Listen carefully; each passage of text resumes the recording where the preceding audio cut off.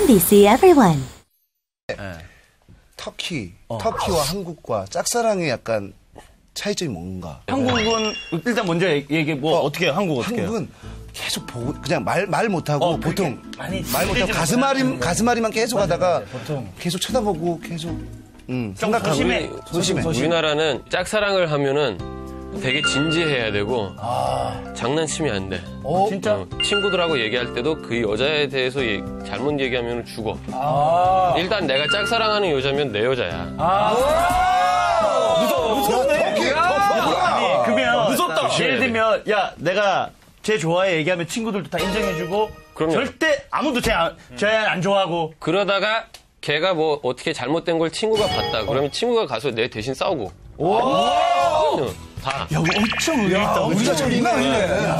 터키란 나라가 화끈한 나라구나.